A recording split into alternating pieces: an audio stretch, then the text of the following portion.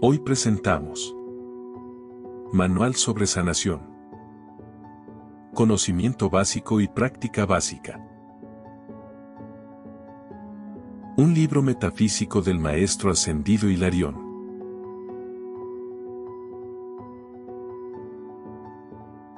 Iniciemos.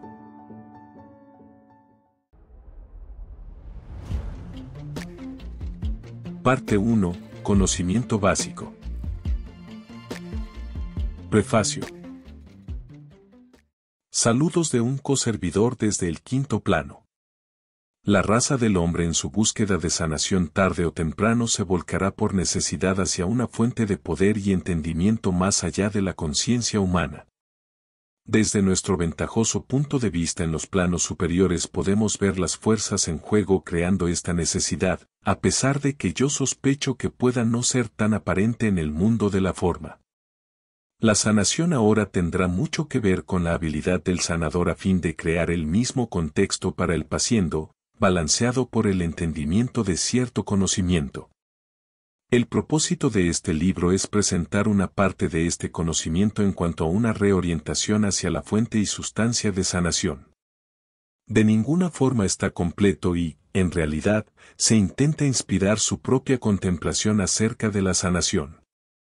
Desearía recordarles aquí la máxima de la gran hermandad blanca, saber, atreverse, hacer y estar silenciosos. Aquí se presenta algo del conocimiento, el desafío, el hacer y el silencio dependen de ustedes. Introducción al conocimiento. La sanación es la ciencia del amor. En el trabajo de sanación, el hombre debe conceptualizar y aceptar, pensar y sentir, a Dios siendo el hacedor, el hacer y el hecho. En épocas antiguas cuando se podía ir al templo de sanación, este debía ser un momento de purificación y restauración, tanto en el plano físico como en el espiritual.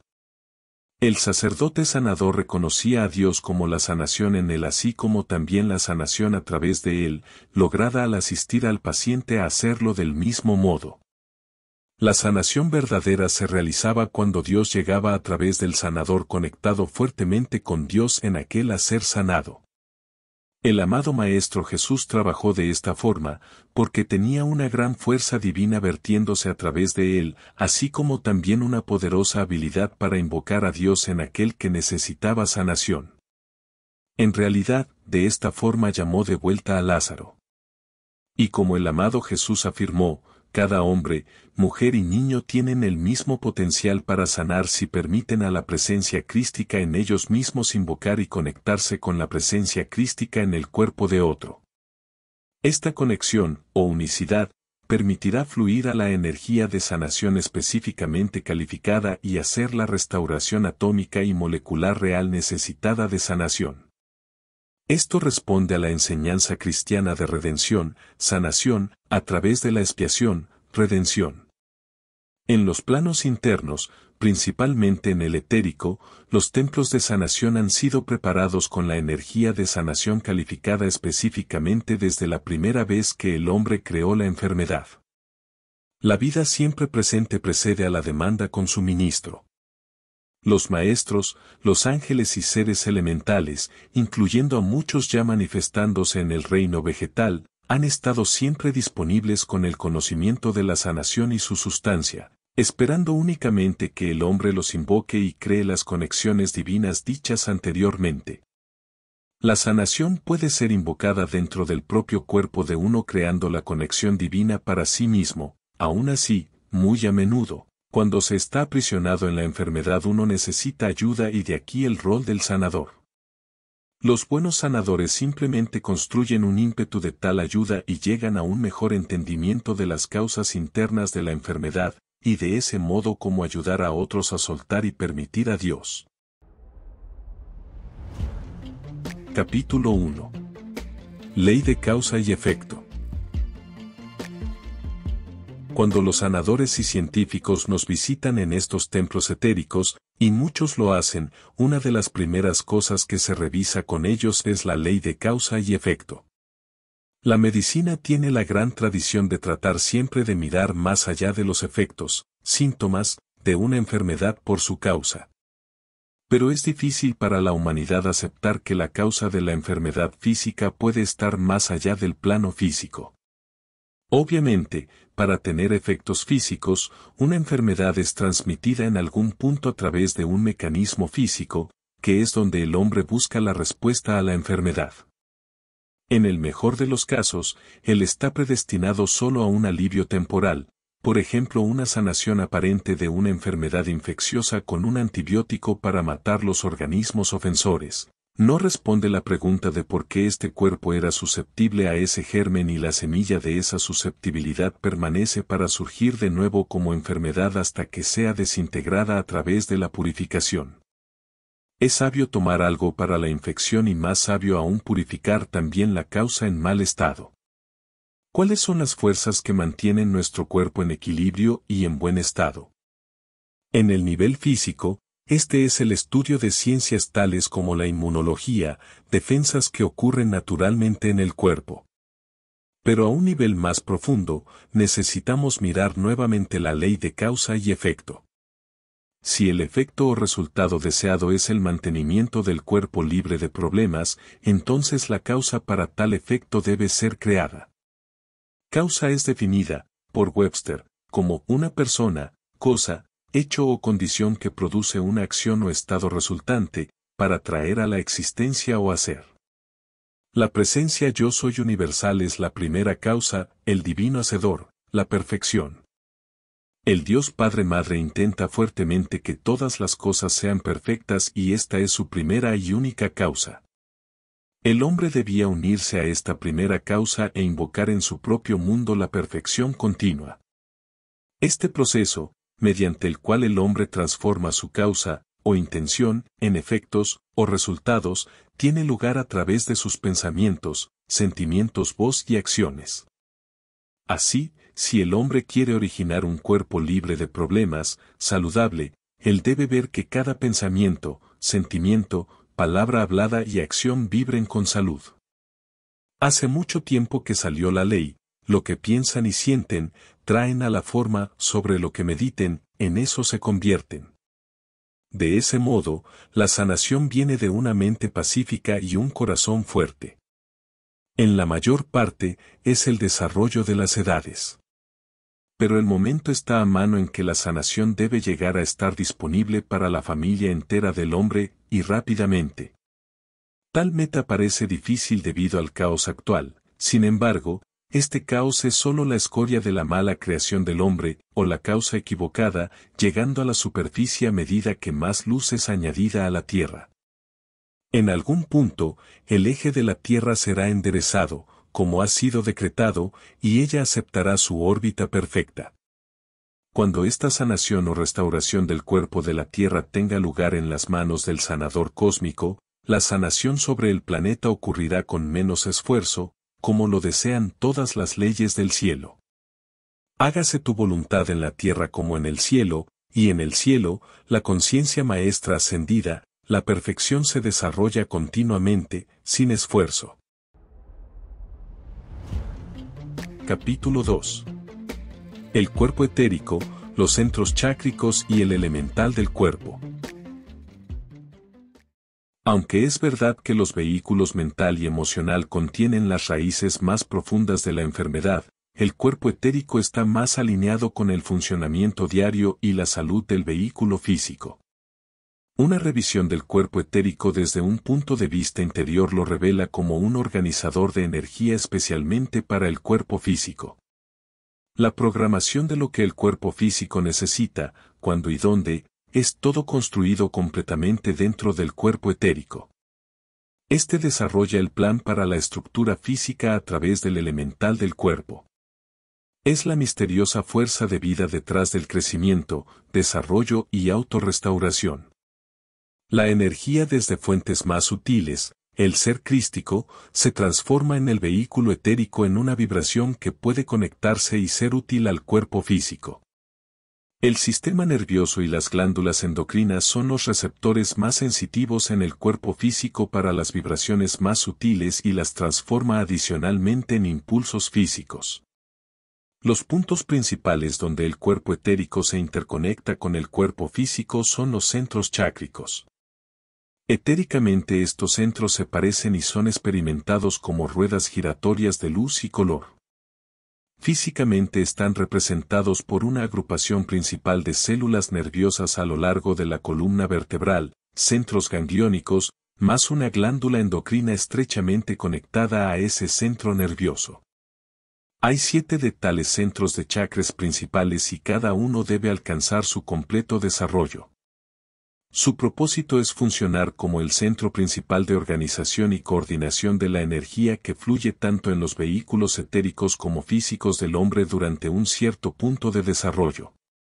Cada uno está diseñado para coordinar las experiencias de uno de los siete rayos mayores y para que el hombre complete su desarrollo terrenal, cada uno debe ser traído a su completo desarrollo. En la forma física este representa simplemente al maestro de cada rayo. Mientras se está evolucionando a través de un centro chácrico, aparecerán ciertas experiencias diseñadas para ser maestro sobre ese rayo. El efecto de tales experiencias es la maestría o el regreso de condiciones negativas, a menudo en la forma de enfermedad.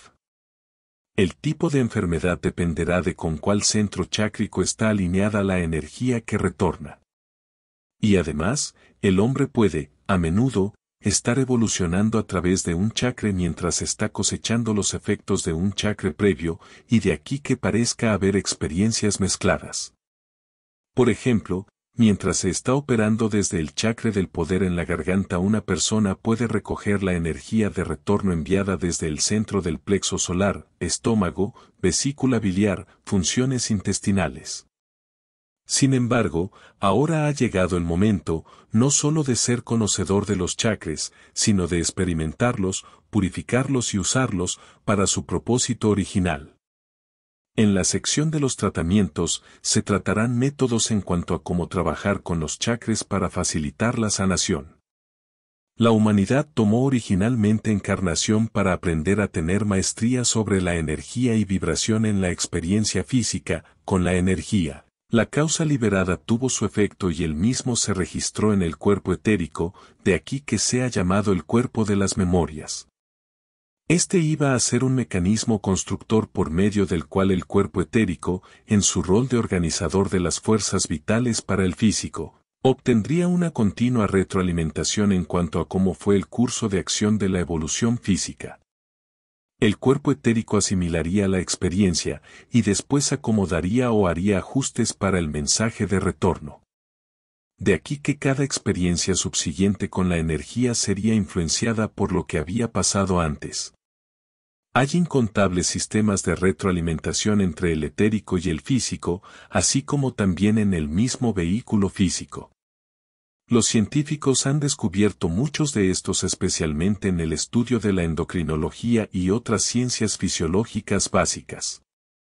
El diseño original era desarrollar un cuerpo autoperfeccionándose, haciendo ajustes continuamente para los diversos aspectos de la vida sobre el planeta. En comparación, sería como empezar con una calculadora de bolsillo sencilla, pequeña, que con cada uso se ajustaría y crecería para adecuarse a nuevas experiencias, obteniendo la retroalimentación, asimilándola y acomodándola a la misma hasta que llegara a ser una gran computadora, compleja, capaz de asombrosas hazañas, todo bajo el control de su operador, el ser crístico. Sin embargo, imagínense si las experiencias que tuviera esa computadora en crecimiento fuesen negativas y la retroalimentación destructiva, con el efecto de circuitos rotos o desgastados, sensores obstruidos, sin sensibilidad para el operador en el panel de control. Esto se aproximaría a la evolución del hombre desde su caída. El operador divino está ahora demandando funcionar a través de sus instrumentos en sus formas intentadas. ¿Qué tiene que ver esto con la sanación? A medida que la computadora llegó a estar funcionando de forma anormal, las experiencias del hombre fueron afectadas por esta, porque cuando la luz desde el Cristo vino a través del etérico hacia dentro del físico, este ya estaba calificado por la vibración negativa y destructiva allí almacenada. Ustedes necesitan comprender claramente que el cuerpo etérico es tanto el coordinador de la energía crística para el cuerpo físico como también el almacén de la retroalimentación. Debido a estas funciones duales, la evolución de este sistema puede ir o muy bien o muy mal, mientras éste quiera acumular ímpetus en cualquiera de estas direcciones. Cuando más perfecta la retroalimentación, tanto más perfectos los circuitos de memorias y tanto más positivamente cargada es la luz pasando por el cuerpo físico. De aquí la mayor probabilidad de una retroalimentación más positiva a través del etérico, y así sucesivamente. Este también puede venir a menos de la misma manera que la humanidad lo ha experimentado. El rasgo más asombroso del equipo original, como lo es la naturaleza de Dios, es que éste es siempre redimible y simplemente necesita ser limpiado, amado libre y restaurado. Otro componente del cuerpo etérico es el trabajo del elemental del cuerpo. Como el amado Saint Germain ha explicado, este elemental etérico altamente evolucionado se ha ofrecido voluntariamente para trabajar con la sustancia física en la continua restauración y mantenimiento del vehículo físico. Este elemental es la fuerza misteriosa de vida detrás del infante en desarrollo, que dirige a la diminuta forma carnal hasta que haya suficiente conciencia como para que el infante pueda prosperar por sí mismo. Los sanadores de la nueva era tendrán que familiarizarse con el elemental del cuerpo, invocarlo con amor y trabajar en cooperación con éste para restaurar el cuerpo físico. Es el elemental del cuerpo, en el plano etérico, el que puede mirar al ser crístico, o el plan divino detallado y trabajar después a través del sistema nervioso para producir un efecto similar en el plano físico. Un elemental del cuerpo terco o rebelde, o uno que sencillamente sea ignorado, puede ser un bloqueo poderoso aún para los mejores sanadores. En la sanación de la nueva era, el trabajar con el elemental del cuerpo será una de las áreas más importantes y específicas en la hermandad del hombre, elementales y ángeles del amado Saint Germain. Desearía estimularlos para que lleguen a estar familiarizados con su propio elemental del cuerpo. Esto se puede hacer amándolo e invocándolo, pero también pidiéndole al propio ser crístico y a la presencia, yo soy, que cuando estén dormidos y en sus cuerpos etéricos más finos, puedan conversar y conocer los trabajos del propio cuerpo elemental y traer de vuelta una memoria consciente, despierta de esto. Tal proceso cumplirá el antiguo pero verdadero adagio, médico, cúrate a ti mismo. En la revisión de esta sección entonces, el cuerpo etérico es a la vez el coordinador de la fuerza vital de vida para el físico, así como también un mecanismo retroalimentador, para que el hombre pueda aprender de la experiencia. El trabajo de coordinación de la fuerza vital de vida usa los centros de los chakras y el sistema nervioso del hombre. El mapa entero del sistema nervioso es simplemente la cumplimentación externa para los canales etéricos de fuerza vital, algo que la medicina oriental ha intentado usar. El elemental del cuerpo es parte del proceso natural de restauración y los sanadores necesitan su cooperación. La sanación desde el punto de vista etérico requiere de la purificación a través del uso del fuego sagrado, visualizaciones y experiencias dirigidas a la apertura de los centros vitales y líneas de flujo, así como también de terapias físicas tales como la manipulación de los canales nerviosos y etéricos, buena nutrición y tonificación del cuerpo y la correcta cantidad de luz solar, vitaminas y otras fuentes de fuerza vital. Descripción de los chakras. Chakra 1, base de la espina dorsal. Centro gangliónico, plexo pélvico. Glándula endocrina, gónadas. Color blanco. Chakra 2, vaso. Centro gangliónico, mesentérico superior e inferior. Glándula endocrina, suprarrenal. Color violeta. Chakra 3, plexo solar. Centro gangliónico, plexo celíaco. Glándula endocrina, páncreas. color dorado profundo. Chakra 4, corazón central. Centro gangliónico, plexo cardíaco superficial y profundo, cadena simpático C5 a T5. Glándula endocrina, timo. Color rosa.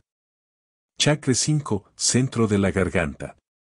Centro gangliónico, ganglio simpático cervical. Glándula endocrina, tiroides y paratiroides. Color azul. Chakra 6, centro entre los ojos.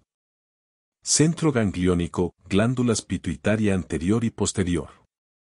Glándula endocrina, glándula pituitaria. Color verde. Chakra 7, centro en el tope de la cabeza. Centro gangliónico, glándula pineal. Glándula endocrina, glándula pineal. Color amarillo solar. Capítulo 3. Relación del ser crístico con los vehículos etéricos.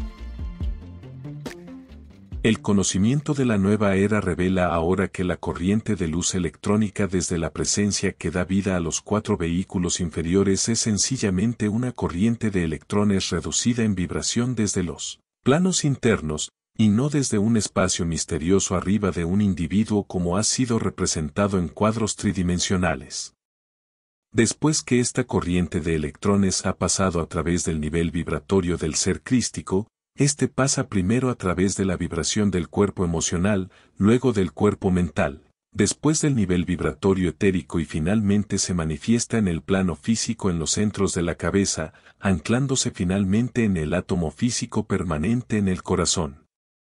Concentrándonos ahora en el cuerpo etérico es importante darse cuenta que el ser crístico supervisa directamente este cuerpo.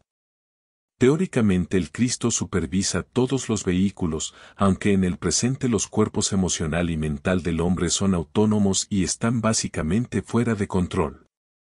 Sin embargo el ser crístico todavía retiene mucho control sobre el cuerpo etérico, especialmente en el trabajo de organizar e integrar energía y vitalidad para la forma física. En ese sentido, hay una relación especial entre el ser crístico y la forma etérica física, excluyendo los otros vehículos. El ser crístico, como el divino director, puede en el presente tener más efecto sobre la forma etérica física que sobre los cuerpos mental y emocional. De aquí que en la sanación de la carne, mucho trabajo se hace conscientemente, invocando al ser crístico y a su divina dirección sobre el cuerpo etérico, los chakras y el sistema nervioso y las glándulas endocrinas y al elemental del cuerpo. Los otros dos vehículos simplemente necesitan purificación y realineación.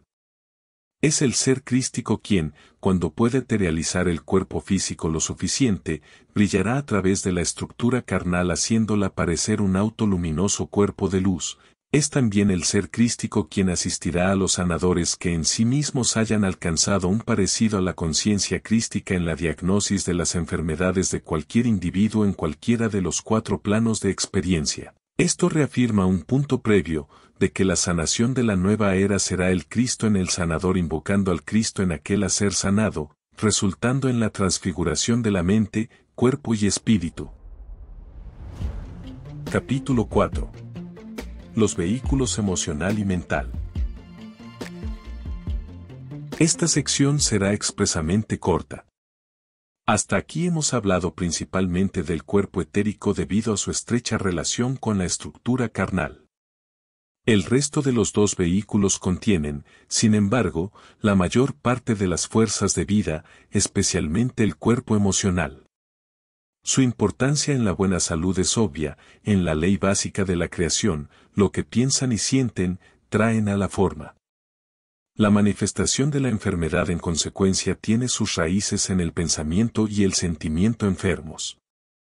La sanación tiene sus raíces en los pensamientos y sentimientos saludables. La única cosa que realmente necesita ser enfatizada es la purificación de estos vehículos.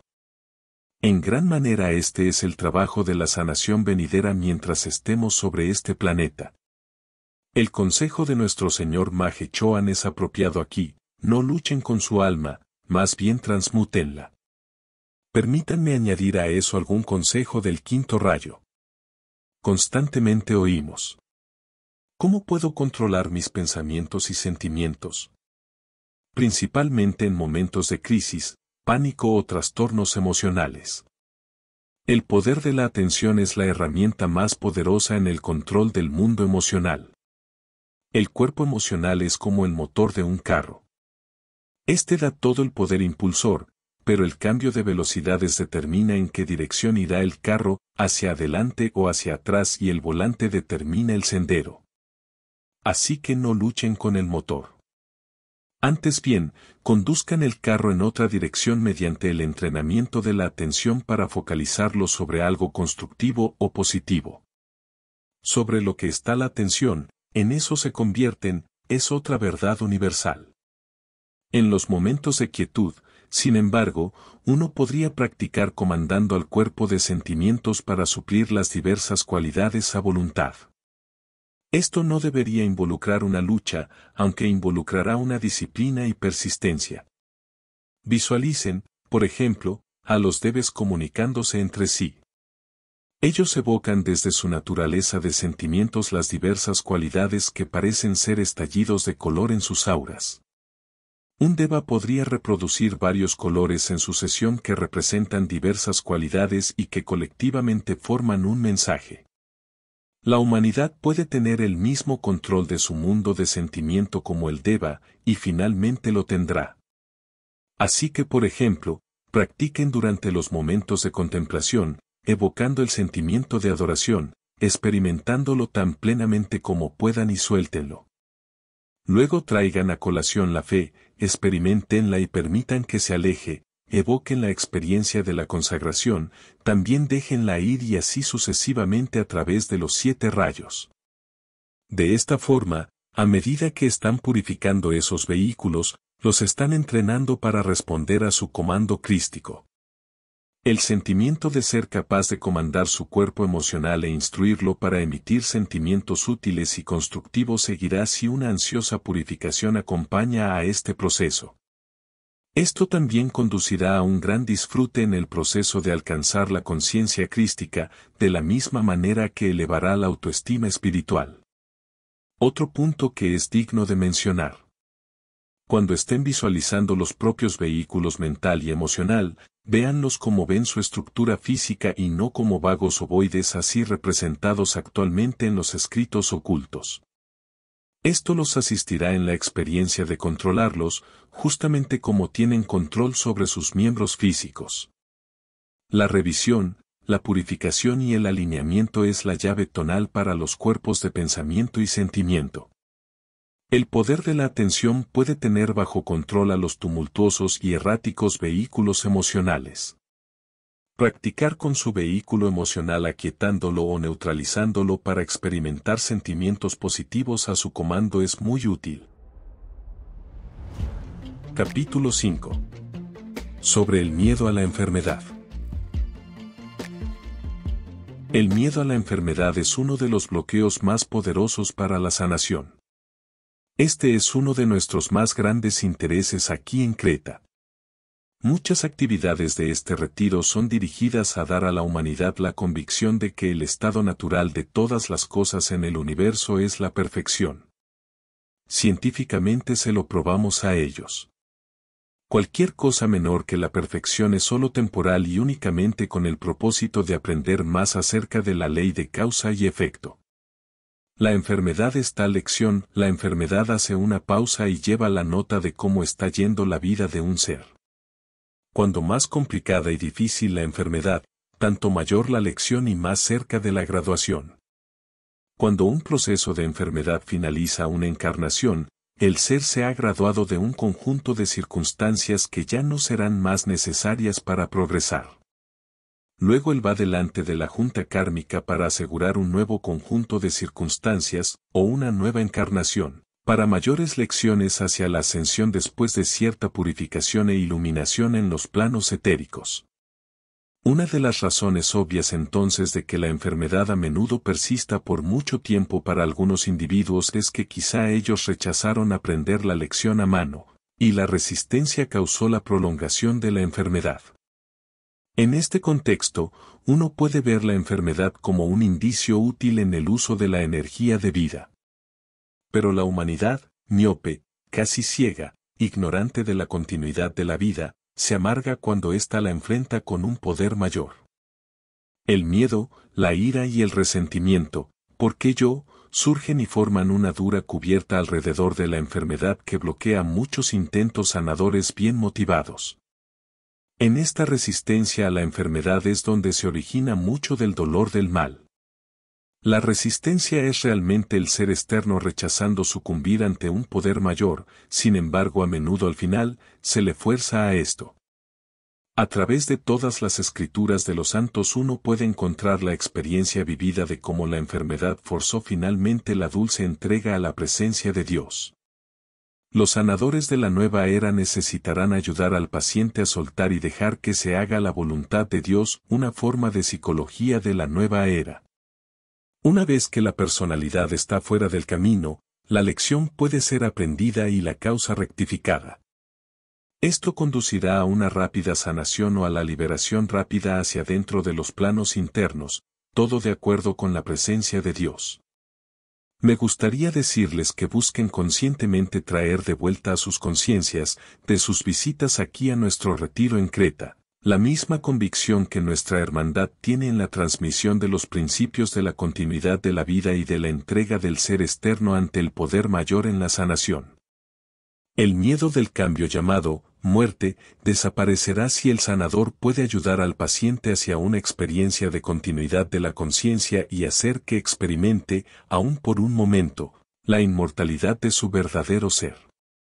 De nuevo, esta clase de ayuda al ser en necesidad de sanación hacia la experiencia de la conciencia crística será en gran parte el trabajo de los sanadores de la nueva era. El miedo como la causa de la enfermedad está también difundido por todas partes y es necesaria una purificación dinámica en el mundo emocional de tal ser. Sin embargo, una de las más grandes bendiciones para la humanidad de la nueva era de Saint Germain es que la purificación mediante el fuego violeta llegará a estar disponible antes de que el efecto de la enfermedad se establezca. Aunque esto no es hasta ahora reconocido por la mayoría de la humanidad, es una de las más grandes causas de regocijo en nuestros planos, a medida que éste tenga un tremendo impacto sobre la enfermedad en la raza humana. Ustedes pueden sentir ahora por qué nosotros, a través de los años, les hemos implorado usar la llama violeta. Capítulo 6. La genética y la herencia de la enfermedad. Los médicos están descubriendo más y más en cuanto a los componentes genéticos de ciertas enfermedades, lo cual es bueno y está bien. Sin embargo, escuchamos murmullos de los estudiantes en cuanto a cómo puede ser esto en virtud de que todo el mundo es responsable, en causa, por su propia enfermedad y no le puede echar la culpa a la herencia. Si el estudiante tuviera la inclinación o el conocimiento para leer estos reportes, habría encontrado que en la mayoría de las enfermedades con una herencia genética, no es la enfermedad misma sino una propensión a obtener la enfermedad lo que es heredado. Esto es verdadero, uno, hereda, la causa previamente puesta en movimiento por ellos mismos, durante muchas, muchas encarnaciones. Y si la energía retornante puede ser purificada de otro modo la enfermedad no necesitaría manifestarse. También existen algunas enfermedades o impedimentos definitivamente hereditarios, donde la junta kármica, en consejo con la presencia de Dios, sintió que cierta experiencia era definitivamente indicada durante una cierta vida. Sin embargo, aún estas enfermedades pueden ser sanadas si la causa es purificada y el amor comanda la personalidad externa. Aquí me gustaría mencionar, en virtud de que recibimos muchas llamadas afectivas acerca de esto, que siempre, siempre es correcto tratar de sanar alguna enfermedad sin ningún pensamiento necesario en cuanto a alguna interferencia con la ley kármica, cuando estén trabajando con el ser divino de otro. Recuerden, la vida no crea la enfermedad, únicamente el hombre sabe cómo. La vida intenta que la raza del hombre sea saludable, libre de dolor y llena de vitalidad cada momento de la eternidad. El hombre creó la enfermedad y el hombre siempre puede deshacerse de ella incluyendo las demandas o sanciones de uno de la raza a favor de otro. Si un paciente quiere liberación, siempre pueden ayudarle. Si el paciente no quiere liberación, no importando lo que hiciera, de todos modos, se aferraría a su enfermedad. Los estudiantes en el sendero, especialmente aquellos que están interesados en la sanación, necesitan estar más confortables con el cuerpo físico. Cada enfermedad, no importando la causa, tendrá un mecanismo biológico o físico a través del cual es intervenido. Aquí es donde la ciencia médica está haciendo grandes avances, y ellos merecen su apoyo completo. Los misterios del vehículo físico necesitan ser probados plenamente porque sólo entonces llegará a ser patente en la ciencia que la respuesta a todas las enfermedades no yace en el plano físico. De modo que la genética es sólo la ciencia de cómo la vida media biológicamente los efectos karmáticos en el nivel atómico en la raza humana. Vuestro ser divino es una realidad electrónica. Espero que el mensaje esté claro. Capítulo 7. Las proporciones cósmicas de la enfermedad y la salud. En algunos círculos esotéricos, el uso de la enfermedad ha sido tratado por el Señor del mundo para el desarrollo del plan divino del planeta. Naturalmente que es verdad que la enfermedad ha tenido que jugar una parte principal en la historia de este planeta, y en mayor escala ha sido usada tanto como un medio de liberación de karma como un medio de purificación.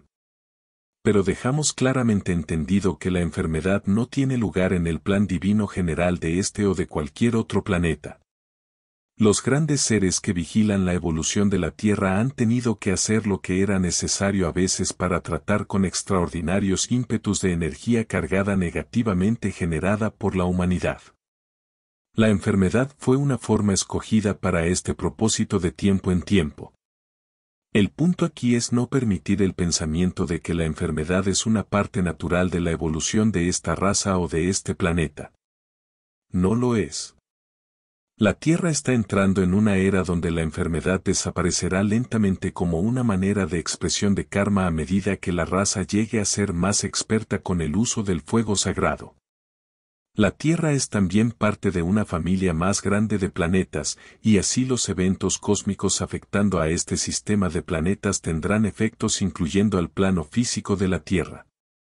Como es bien conocido en la literatura de la nueva era, nos estamos aproximando rápidamente a una transición mayor en acción vibratoria del sistema de planetas en general bajo Helios y Vesta. El amado Helios divulgó recientemente que los padres dioses están constantemente vigilando que la Tierra esté lista para su inhalación final hacia dentro de la órbita de Urano. Esto aumentará la vibración de toda cosa sobre la Tierra, trayéndola más cerca al nivel esotérico de vibración. Los cuerpos físicos del hombre están incluidos aquí y ese es el por qué la conexión física etérica necesita ser bien entendida y practicada. También, esto hace del momento presente un verdadero tiempo oportuno para ser un sanador porque previo a esto la vibración de la mayor parte de los vehículos físicos era tan densa que le tomó mucho a un extraordinario sanador o medium cambiársela. De aquí la frecuencia de sucesos erráticos de aún los mejores sanadores y el por qué los doctores físicos eran tan importantes. Ellos trabajan con la sustancia física densa.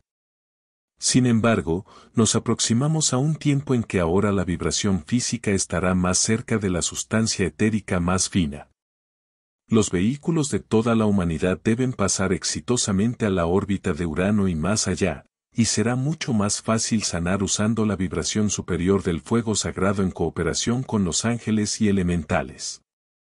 Sin exponer tanto, debería estar claro que la Tierra, como un todo, y especialmente los cuerpos físicos del hombre llegarán a ser más y más etéricos a medida que progrese su destinado rumbo a la nueva era de Saint Germain. Así que ahora es el momento de subir rápidamente sobre el carro de la sanación, como dicen ustedes, porque su momento ha llegado y su éxito está asegurado. Parte 2. Práctica básica. Prefacio. Me gustaría asegurarles que en esta sección sobre la práctica básica de la sanación, mucho de lo que será informado es hecho en unidad, en cooperación especialmente con el amado Kutumi y el amado Maike.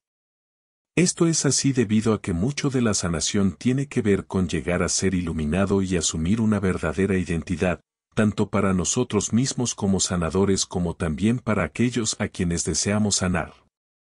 Al respecto, siento que debo aconsejarles sobre cierto asunto. Están comenzando a comprender en su mundo de experiencia la dualidad de su nivel evolutivo actual, de la electrónica presencia de Dios que ustedes son, trabajando a través de la sustancia elemental física que también son. El trabajo de la sanación es básicamente tratar de tener un efecto sobre las estructuras atómicas elementales de los hombres, mientras se asume la identidad de un dios o una diosa en el trabajo. Eso es lo que quiere decir convertirse en un sacerdote o sacerdotisa en el servicio de la sanación. En el presente hay pocos, muy pocos quienes hayan alcanzado realmente el rango de sacerdote o sacerdotisa en el rayo de la sanación. Lo que me gustaría que comprendieran de esto es que cuando intenten, con sus estudios y aplicación, convertirse en sanadores esto no puede ser hecho solo en y por sí mismos. Debe ser hecho en el contexto más general de continuar creciendo hacia su completa identidad divina en todas las áreas de la vida. La enseñanza básica de nuestro amado Señor del mundo viene de nuevo a la mente, el sendero del medio, todas las cosas en equilibrio entre sí. Así en el trabajo de convertirse en sanadores o en hacer de la sanación la ocupación espiritual, por favor, no abandonen sus demás estudios bajo otros maestros o rayos, sino más bien trabajen en la combinación y la unidad de todos ellos. Introducción a la práctica. Saludos de nuevo desde el quinto reino, yo, Hilarión, les traigo hoy un mensaje de amor. Piensen en el día en que la propia palabra, amor, pueda llevar suficiente energía para sanar a alguien. Yo soy privilegiado de poder ver el glorioso futuro, además de los esfuerzos presentes hacia el perfeccionamiento de este planeta y veo la enfermedad, aunque todavía presente por un tiempo, para señalar la desarmonía, siendo controlada rápidamente mediante una reexpresión del amor natural. El amor es el poder cohesivo, el poder que hará trabajar en armonía a un órgano para reorganizarlo atómicamente a su patrón perfecto. El resto de la energía es después enviada de regreso a su existencia primordial para la repolarización. Cada átomo en el plano físico tiene un plan divino o un estado natural al cual volverá de nuevo si le es dado el nivel vibratorio correcto o empuje vibratorio. Para crear estos niveles vibratorios, los sanadores usarán la presión de sus propias llamas triples y sus auras con una fuerza elevadora de vibración y conciencia siempre expandiéndose. Ellos también, aprovecharán esta misma fuerza elevadora de la presencia crística de aquel a ser sanado. La sanación es la ciencia de cambiar niveles vibratorios o de amar libres los vehículos de expresión del hombre. Los científicos hasta ahora olvidan a la humanidad cuando tratan con las realidades duras desalentadoras de las ciencias naturales, aunque en verdad, el hombre es la presencia más grande de estas leyes naturales en acción y pueden controlarlas a voluntad en el reino elemental, incluyendo a su propio elemental del cuerpo. El hombre es la especie evolutiva más grande sobre el planeta y siempre fue la intención que a través del amor él tuviese la maestría sobre el reino elemental. El hombre usa la vida elemental para expresarse a sí mismo porque, en verdad, él es la conciencia manifestada como materia. La materia es la que se enferma como un resultado de que nuestra conciencia llega a ser menos de lo que naturalmente debería ser. En el plan detallado original el nivel de conciencia del hombre debía vibrar naturalmente a un nivel libre de la enfermedad, justamente tan natural como el helio que siempre vibra a un nivel ligeramente más alto que el aire y por lo tanto siempre flotará sobre el mismo. Es sencillamente un asunto de niveles vibratorios. Nosotros aquí en Creta, apreciaríamos si los sanadores de la nueva era pudiesen pensar en los términos científicos de niveles vibratorios y en el uso de la energía para incrementar niveles vibratorios. Eso por supuesto, es para los sanadores, incluyendo, el río de luz electrónica desde la eterna fuente de la sanación, música poderosa, constructiva, la voz pura, afirmaciones y decretos, colores, fragancias y todas las demás energías constructivas disponibles para el chela. Naturalmente que la forma más pura de energía sanadora es sencillamente la energía pura, calificada divinamente, invocada desde los hermanos y hermanas que han servido a la llama de la sanación por eones de tiempo. Capítulo 8 La ciencia de la transmutación Esta ciencia de la transmutación, la cual está de nuevo tratando simplemente con niveles vibratorios, ha estado disponible para el hombre desde la gran caída en conciencia. Ha habido brotes de su renacimiento a través de la historia, pero desafortunadamente, cuando la conciencia cae la resistencia se incrementa, especialmente en algo tan trascendente como esta actividad. La transmutación es la ciencia de elevar la vibración de una sustancia hasta que pueda saltar hacia dentro de otro patrón atómico. En la sanación esto presupone que hay un patrón de enfermedad y un patrón de perfección dentro del cual cada órgano, célula y molécula en un estado enfermo pueden ser transformados. La palabra, mutante, trae consigo desafortunadamente una connotación negativa, aunque su raíz es igual que la de transmutación. Cualquier persona que tenga la más ligera imperfección es un mutante de su plan divino y de su ser divino. La creación de este estado enfermo no solo requiere una mala calificación de la energía que, cuando fluye a través de la persona, literalmente disminuye la vibración y comienza a desintegrar su patrón atómico perfeccionado, sino también del mal uso continuo de la vida para sostener la enfermedad y darle un medio ambiente en el cual pueda crecer. Cuando ese patrón en el uso de la energía se cristaliza dentro de un hábito, ésta llega a ser incrementadamente difícil de cambiar y es aceptado entonces como una existencia normal. Luego desde este estado la humanidad clama ser sanada de su enfermedad mientras continúa creando la atmósfera que sostiene la enfermedad. Así que al seguir los buenos principios de la sanación, no solo deberíamos interesarnos en el proceso de sanación de una enfermedad específica, sino también en cambiar el proceso de vida que en primer término ha generado y sostenido la enfermedad. Este proceso de vida está centrado en los centros de pensamiento y sentimiento donde la vida es impresa con su principal nivel vibratorio. La sanación del futuro no será algo que es hecho a un individuo sino que requerirá el pleno consentimiento, conocimiento y cooperación del ser siendo sanado en un proceso de sanación con el sanador y con su propio ser crístico. Esta clase de compromiso personal será requerido, pero la recompensa no será simplemente la liberación de la enfermedad, sino un patrón de vida concebido para permitir la plena expresión de la conciencia crística. Esa es la meta y el propósito definido de un sanador de la nueva era. Capítulo 9. Una invocación para las clases de sanación. Yo soy lo que yo soy, en nosotros, y en todos nuestros hermanos y hermanas en la familia del hombre. Yo soy, la presencia de la sanación de nuestro Dios Padre Madre aquí en acción ahora, que ya no tolera el sufrimiento y la enfermedad donde naturalmente habría autoluminosos cuerpos de luz. Yo soy, el principio divino en autoridad representando a la jerarquía espiritual, que demanda que la conciencia crística se manifieste ahora a través de los cuerpos físicos de la humanidad. Yo soy, aquí en el nombre de la poderosa presencia, yo soy, y del santo ser crístico de cada alma perteneciente a la tierra, que como una poderosa voz comanda, tu voluntad, oh Dios Padre Madre, sea hecha ahora en y a través de estos vehículos físicos. En el nombre de ese, yo soy, yo invito e invoco los tremendos rayos de luz de los maestros ascendidos y la propia sustancia de la conciencia maestra ascendida del amado Helios, el más grande poder sanador de este universo, de la amada Señora Vesta, Madre para este universo, de la amada Madre María, madre para las almas sobre la tierra, de la amada Meta, la amada Kuan Yin y de todas las señoras de la sanación y la compasión, del amado Hilarión y de todos los hermanos y hermanas de los templos.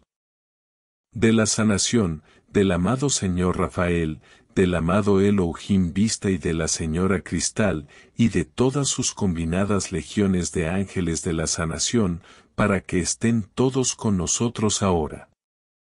Manifiesten ahora, a través de nosotros, la perfecta conciencia de la salud y la armonía. Esto será porque, yo soy todo luz y la luz de Dios nunca falla. Así es, amado, Yosa. Capítulo 10 Ejercicios de sanación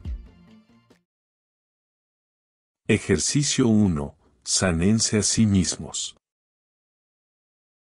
1a. La respiración. Para sanarse a sí mismo la cosa fundamental es experimentar apartando del camino, la personalidad, y dejar que Dios haga la sanación.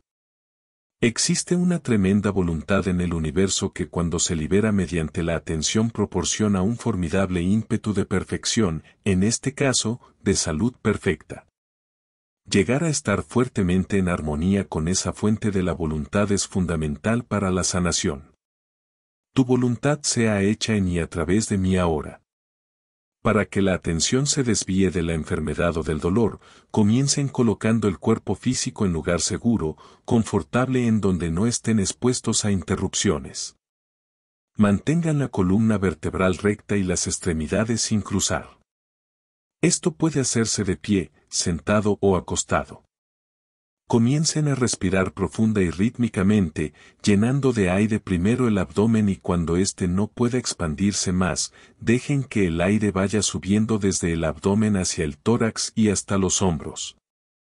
Coloquen una mano sobre el abdomen y la otra en el pecho para que sientan este movimiento vibratorio. Luego, con bondadoso control, dejen salir lentamente el aire, impulsándolo hacia afuera con los músculos abdominales, sientan la flexión de estos. Entonces inicien de nuevo el ciclo llenando el abdomen hasta donde puedan, permitiendo que el aire suba hasta el tórax y salga de nuevo lenta y completamente. Respiren por la nariz tanto como sea posible. Practiquen esta respiración rítmica hasta que sea muy fácil para ustedes sostener un ritmo sin necesidad de recobrar el aliento ni de preocuparse por sensaciones extrañas, tales como mareos o corazón acelerado, que pueden llegar a ser comunes al principio. No son peligrosas. Ustedes simplemente están superando la respiración anormal de muchos años y probablemente de muchas encarnaciones, y sus cuerpos necesitan reajustarse. Se trata de una readaptación muy segura para el organismo y necesaria para los subsiguientes cambios. Lo mejor es un programa regular de ejercicios respiratorios, por ejemplo, cada mañana y cada noche, sin embargo también pueden ser practicados en cualquier momento y lugar durante cortos periodos. Cada vez que terminen el ejercicio pidan a su presencia electrónica, que ustedes son, que sostenga ese ritmo a través de los cuerpos físicos todo el tiempo. Ejercicio 1b. Cuando tengan un sentimiento de tranquilidad asociado con la respiración profunda y esto ya no sea una lucha, comiencen a incluir las visualizaciones. Recuerden, primeramente, que el aire que respiran de la atmósfera es un regalo del Espíritu Santo cósmico. Su aliento sale y crea una atmósfera alrededor de cada planeta no solo para sostener la vida, sino para hacer prosperar el crecimiento espiritual. Allí estriba el misterio del prane. Luego el señor Maje Choan sirve cuidando de que la atmósfera sea conservada limpiada y purificada usando el reino elemental de tal forma que el flameante aliento de Dios esté disponible para toda vida sobre la tierra. Cuando respiramos tomamos de la sustancia de vida eso que se ha originado para nosotros directamente desde nuestro Dios Padre Madre a través del Espíritu Santo. Es un eslabón directo con la pura vida de Dios.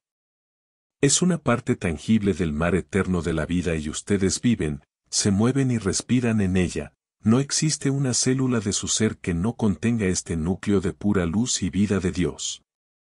Luego visualicen, con cada respiración, que sus pulmones absorben esta sustancia de luz universal como si estuvieran llenándose con un gas resplandeciente. A medida que continúen su ciclo de respiración permítanle expandirse hacia dentro de su pecho, y luego hasta el área de su cabeza y mente, que alcance sus extremidades, que baje hacia sus órganos internos, y que continúe bajando hasta los dedos de los pies. Siéntanse a sí mismo llegando a estar más livianos, iluminados. Relájense dentro de esta mar de resplandeciente luz. Si hay cierta parte del cuerpo enferma, concentren el aliento a través de la atención en ese punto y vean y sientan esa área resplandeciendo más brillantemente con cada nueva respiración. Esta es la antigua tradición del Oriente, de la concentración del aliento para la sanación. Practiquen regularmente esta corta visualización a medida que avancen en su trabajo de respiración. Ejercicio 1C Después de que exista algún sentimiento de maestría sobre la respiración a un nivel uniforme, el próximo paso es traer los cuatro vehículos inferiores hacia dentro del orden, la unidad, la armonía, y elevarlos hacia dentro de la conciencia crística aunque sea por cortos periodos. Comiencen este ejercicio estableciendo de nuevo la respiración lenta y rítmica. Coloquen el cuerpo físico en una posición de relax, pero equilibrada con la columna vertebral recta, sin llevar tensiones a ningún músculo. A medida que continúen la respiración rítmica comiencen a relajarse dentro de la creciente presión de la luz viniendo desde dentro del corazón. Vean una llama de amor, sabiduría y poder siempre expandiéndose, moviéndose en espiral en forma rápida hacia arriba, siéntanla moviéndose en espiral hacia arriba desde el centro corazón físico, incrementando la completa acción vibratoria de la estructura física carnal. Sientan este templo elemental de un Dios viviente, acelerado por la presión de esta llama expandiéndose a través de él. Seguidamente, pongan la atención sobre el centro corazón etérico y vean nuevamente la llama triple expandiéndose a través de toda la naturaleza etérica, acelerando el nivel vibratorio de toda la materia etérica hasta su estado perfecto. Luego vean dentro del corazón del vehículo mental, la llama triple expandiéndose allí, acelerando la sustancia de la materia del cerebro, la mente etérica y el vehículo mental hacia dentro de la sustancia de luz tenue que llevó las ideas perfectas de la deidad, claras y cristalinas. Deténganse por un momento y sientan la conexión aquí con la amada Señora Cristal y la sanación mental perfecta del quinto rayo. Ahora incluyan el gran centro corazón del vehículo emocional, sintiendo esa llama expandirse a través de cada célula, molécula y átomo del gran mar del mundo emocional. Luego visualicen a cada una de estas llamas triples fusionándose en una llama triple gigantesca moviéndose en espiral como una fuerza veloz ascendente de vibración y conciencia, unificando a cada uno de los cuatro vehículos inferiores. Visualícenlos a todos ellos en el perfecto patrón del ser crístico, no como una luz informe ovoide, sino como seres de luz resplandecientes, alineados entre sí, todos en perfecta armonía, en perfecta unidad. Ahora con cada respiración sientan que el aliento se expande hacia las profundidades de cada uno de los cuatro vehículos inferiores porque es el mismo Espíritu de Dios el que los está animando a cada uno, todos ahora bajo el control de la presencia crística. Periodo de silencio, ahora con cada uno de los cuatro vehículos inferiores sostenidos completamente bajo el dominio de esta fuerza de vibración y conciencia siempre incrementándose, llamada, la sagrada llama crística. Pasemos a la visualización de la verdadera identidad. Capítulo 11. Visualización de la verdadera identidad. Les pido ahora que miren adentro en conciencia. Y absolutamente conozcanse. No solo lo crean o simplemente lo acepten. sino que absolutamente conozcanse a sí mismos como un ser de pulsante luz. Es la luz electrónica en lugar de la luz atómica. En el vehículo electrónico, la luz está fluyendo libremente. En una estructura atómica a la luz, se le fijan ciertos patrones si quieren, los cuales son llamados átomos, moléculas y así sucesivamente. Y la luz es fijada en un cierto patrón. Pero en este pulsante ser de luz electrónica, cada electrón está fluyendo libremente. Ciertamente siguiendo el plan divino, pero no fijado en ciertos patrones. Es la naturaleza electrónica de Dios, la que debe funcionar a través de la naturaleza atómica del hombre, la estructura elemental. Y es la fusión de estos dos lo que parece difícil. Véanse como un ser pulsante intentando ir a través de la carne. En lugar de que la estructura carnal esté intentando de algún modo invocar este ser de luz y atraerlo completamente. Sean la presencia de Dios. Simplemente siéntanse como un mar de luz fluyendo libremente, que puede mezclarse tan fácilmente con el mar de luz entero fluyendo libremente, que es el universo automáticamente la conciencia es elevada por encima de lo humano, porque ustedes no están luchando humanamente para ser Dios. Son un ser divino apoyados en la paciencia, sabiendo que el momento de ustedes está muy cerca, en que la estructura física puede fusionarse completamente con la presión de la luz de sus propios seres automáticamente sientan la conciencia expandiéndose como un hermoso balón. Que se hace más y más grande, llevando fácilmente más de la perfección del universo. Más de la perfección de los reinos superiores de perfección. reconociéndonos como un ser de luz firmemente identificado trabajando a través de la carne, ahora ponemos nuestra atención sobre los centros de la cabeza. El chakra sobre la frente, donde descansa la llama de los siete aspectos. El chakra del loto de los mil pétalos sobre el tope de la cabeza y también la fuente de luz en la base del cerebro, los principales centros gangliónicos allí, y sentimos estas tres fuentes de luz ahora. No solo coordinando la luz que viene desde la presencia en conciencia, sino más bien como una fuente de luz, tres magníficos soles que irradian hacia afuera. Esta es la verdadera sabiduría que está encarnada en la conciencia búdica, y sientan la presión del amado señor Confucio y de la amada señora Chi, ya que este es su servicio para entrenar literalmente a las estructuras del cerebro, a fin de que sean centros radiantes de esta conciencia búdica.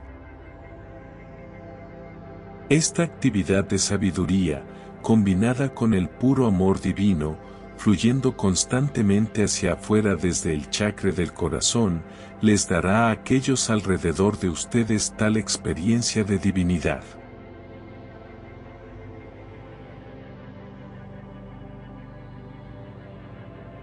Que ellos automáticamente querrán conocer más de la naturaleza de su propio ser.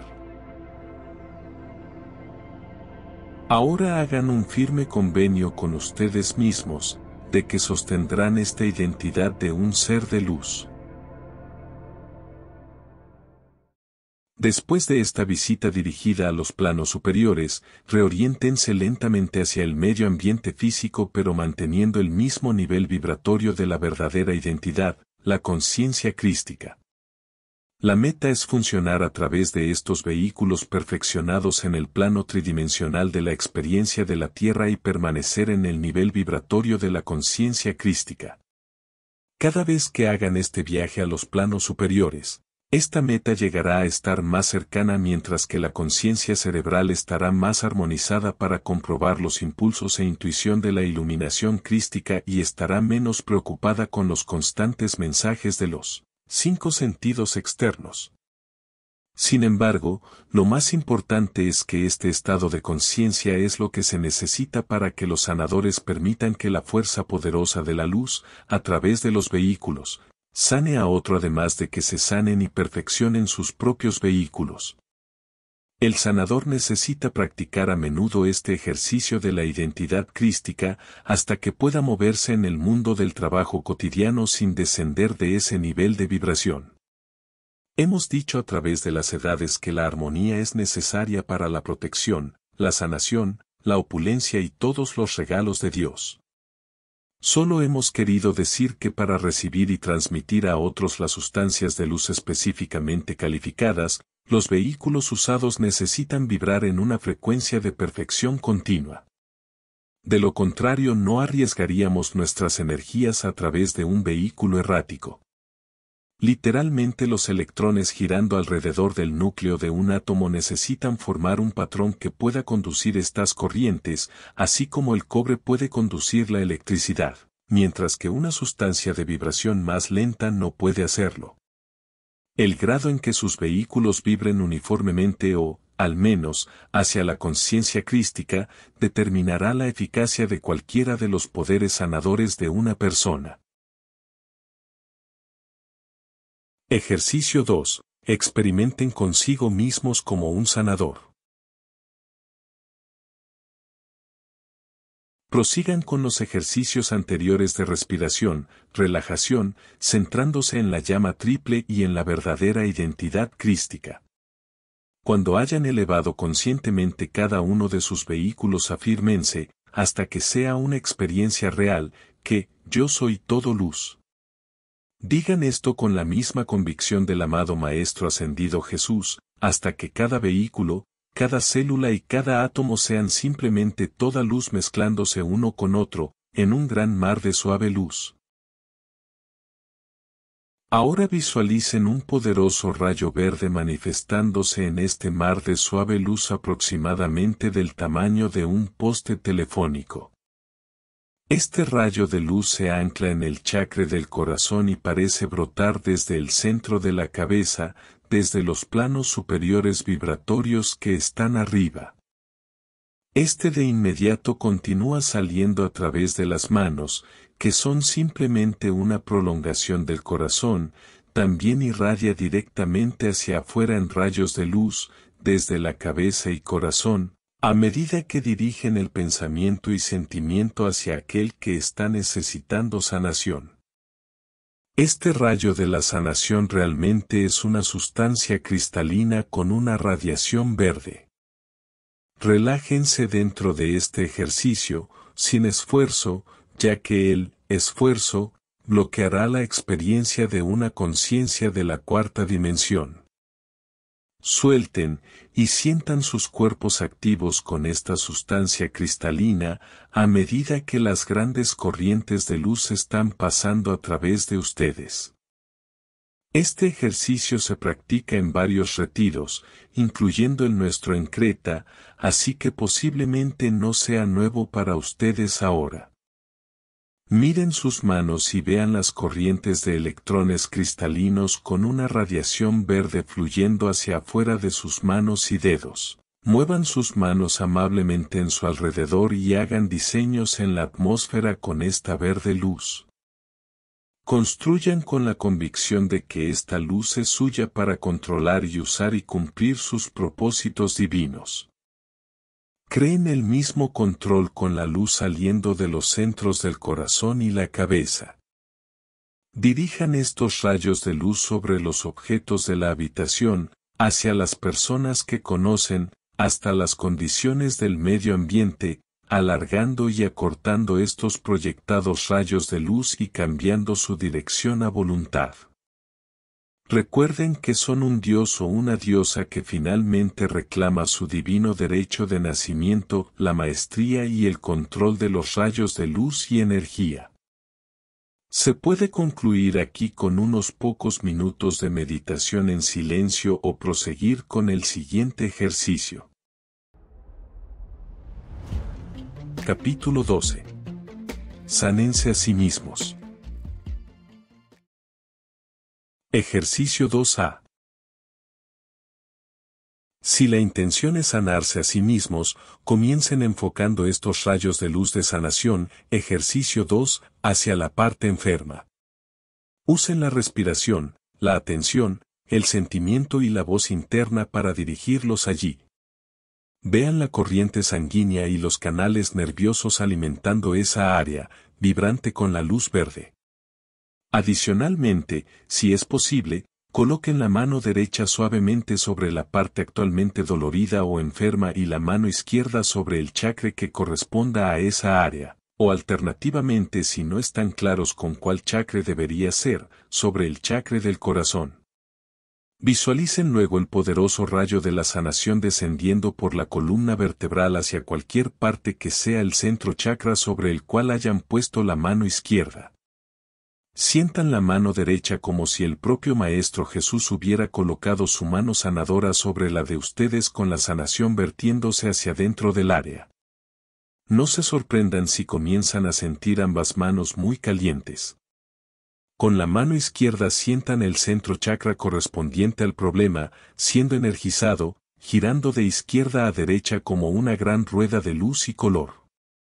Conscientemente invoquen al elemental del cuerpo, con adoración, para que vea el plan divino del ser crístico y produzca ahora el mismo patrón en la carne. Repitan esta invocación tantas veces como la necesiten para construir una nueva relación con el propio elemental del cuerpo. Ese elemental puede, sobre todo, restaurar un patrón etérico distorsionado para un órgano y manifestar el cambio físico correspondiente. Ese elemental está sincronizado con las diferentes, personalidades, hábitos y patrones vibratorios de cada uno de los diversos órganos y partes del cuerpo, y puede aplicar ese conocimiento para la sanación, si éste es invocado y se coopera con él. Luego, contrario a la historia del pasado, continúen fortaleciendo esta relación en los momentos de salud y vigor. Podríamos darles los detalles complicados de los diversos órganos, sus relaciones, niveles vibratorios, propósitos internos, etc., sin embargo, ¿no es esta la oportunidad perfecta para confiar en que el elemental del cuerpo ya los conoce y brindarle cooperación? ¿No es esta la representación de la conciencia de la nueva era del amado Saint Germain de la cooperación perfecta con los elementales?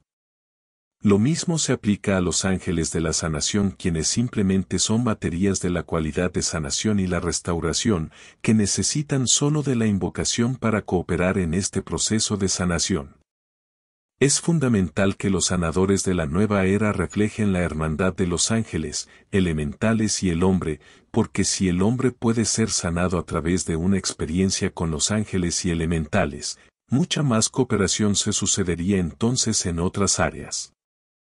Uno de los aspectos más maravillosos de la nueva era es que cada aspecto de esta, en el caso de la sanación, apoyará plenamente la manifestación de todos los demás aspectos. En esto pueden ver la unidad divina.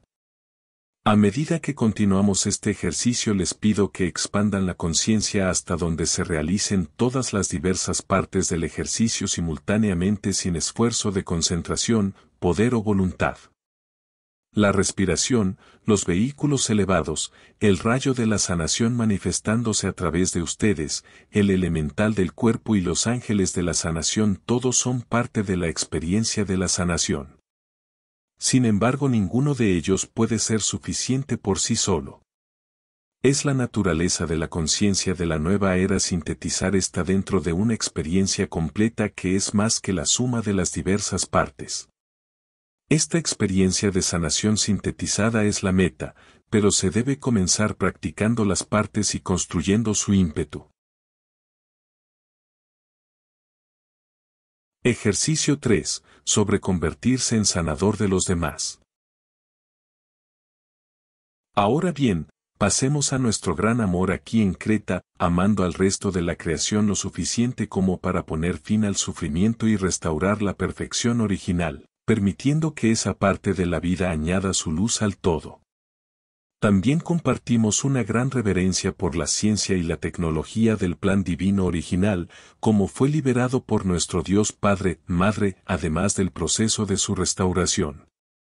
El primer aspecto que debe reconocer un sanador potencial es la reverencia por la posición de sanador.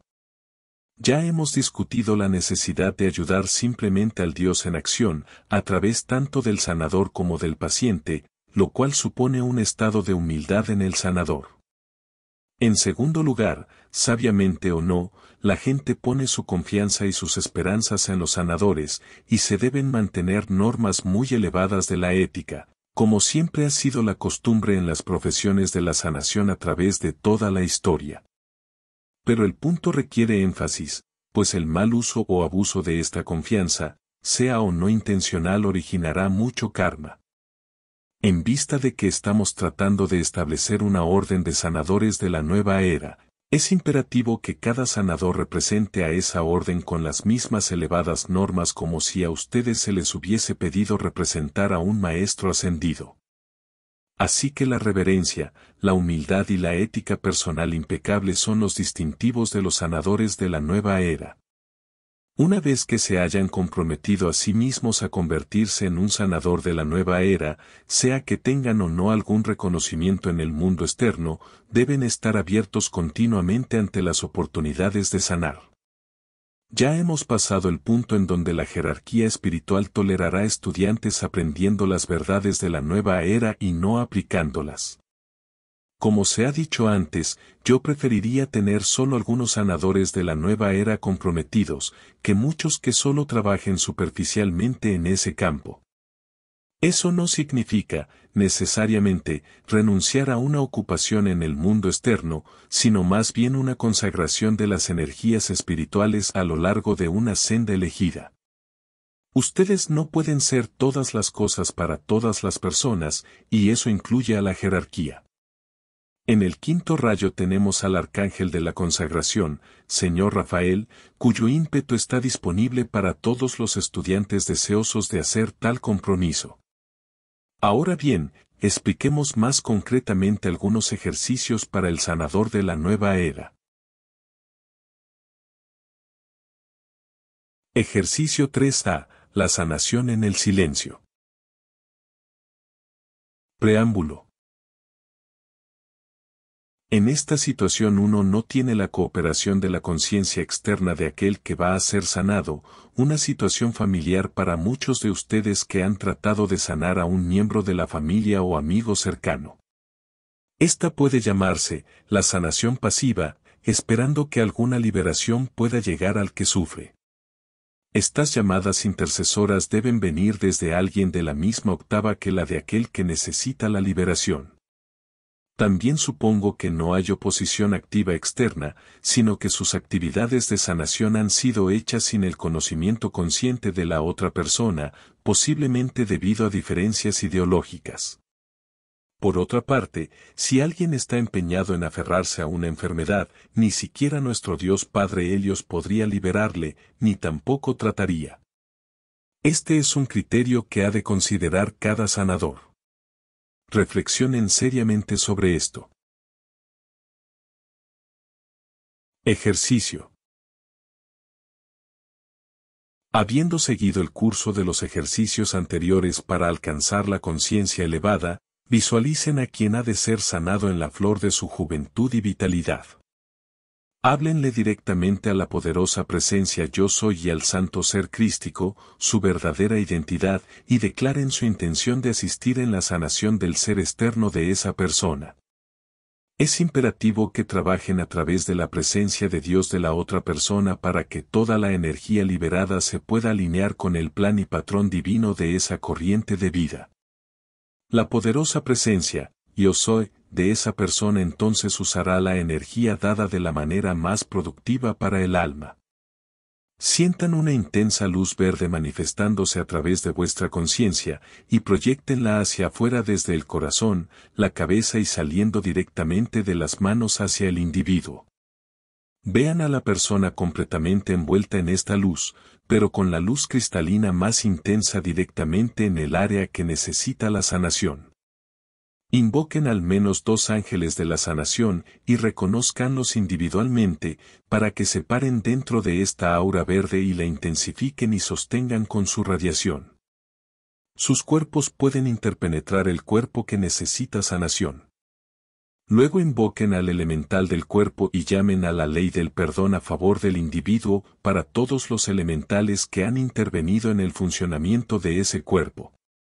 Pidan la cooperación del elemental del cuerpo, mirando sobre este plan divino del ser crístico y restaurando la carne hacia ese patrón. Háblenle firme pero amorosamente y reconozcan su servicio. Luego invoquen a los ángeles de la purificación del fuego violeta para transmutar la causa de esta enfermedad, también aquí los ángeles del círculo y espada de la llama azul son útiles. A medida que esto se esté haciendo pidan al santo ser crístico que ilumine la mente externa lo mejor posible, en cuanto a la lección a ser aprendida en el uso de la vida. Continúen sintiendo y viendo esta bella luz verde de la sanación que pasa a través de ustedes hacia aquel que está siendo sanado, a medida que lo acunan en el ojo de la mente. Llamen al amado Vista y a la señora Cristal para que ayuden a sostener la concentración de la atención por el tiempo necesario para que ese rayo de luz atraviese con suficiente magnitud y fuerza produciendo su efecto sanador. La música ayuda, así como un medio ambiente que sea favorable a los ángeles y elementales, simple belleza y orden, colores claros constructivos, finas fragancias y velas. Les pido que experimenten con la música, porque cada sanador tendrá su propia preferencia y esta variará de vez en cuando de acuerdo con las circunstancias. Las variaciones abarcarán desde las cualidades más mentales, como por ejemplo, el preludio, coral y fuga de Frank, hasta la música más devocional, como por ejemplo, Brahms, quien fue fuertemente influenciado por la Madre María, o Mozart, como por ejemplo, el movimiento lento de su concierto para piano número 21, o algo intermedio tal como el movimiento lento del concierto en do para violonchelo, de Haydn. Naturalmente también existe la música de la nueva era que está comenzando a aparecer a través de varios músicos talentosos de la nueva era. Creo que mi superior en este rayo, el gran Elohim Vista, ha hablado de tales músicos de la nueva era.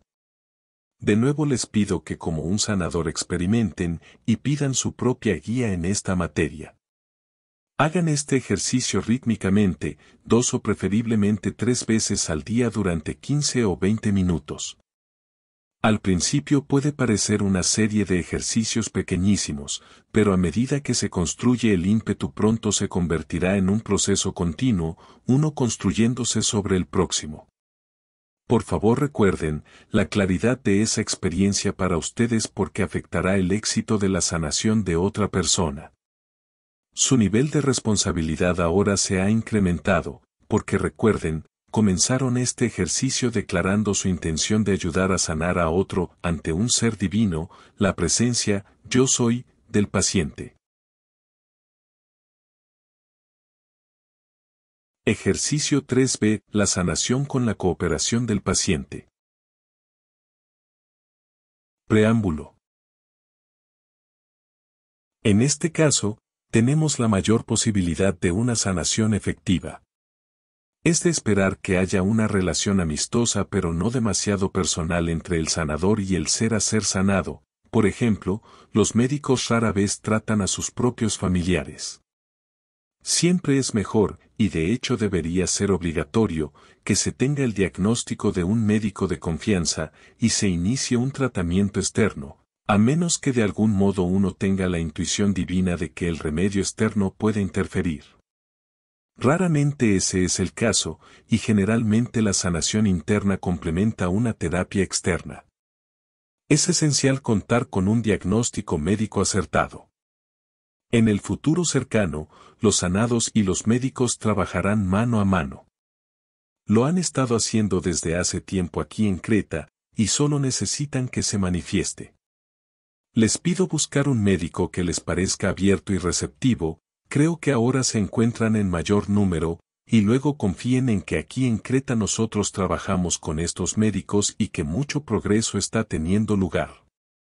Basta decir que este ejercicio no difiere mucho del anterior, excepto que se pueda prestar un servicio de sanación ceremonioso, que se añada a la convicción de la experiencia, además de que de nuevo apoya a otro concepto importante de la conciencia de la nueva era del amado Saint Germain, la ceremonia. ¿Qué mejor forma de construir en reverencia, humildad y excluir al ego humano que a través de una ceremonia espiritual? Por favor asegúrense de que la persona a ser sanada haya llegado al entendimiento en cuanto a la meta espiritual en mente y de que tiene la comprensión correcta de la enfermedad en su propia evolución. De ese modo el sanador debe ser primero un educador. La ceremonia de sanación actual entre el sanador, el paciente y Dios debería realizarse una vez al día cuando la enfermedad es aguda o cada varios días a la semana cuando se trate de enfermedades más crónicas. Por favor asegúrense de que todos los involucrados mantengan una esperanza firme de una sanación y o de un progreso espiritual. Sin embargo, esto debe ser hecho de forma que no limite el proceso al imponerle un marco de tiempo o una forma probable.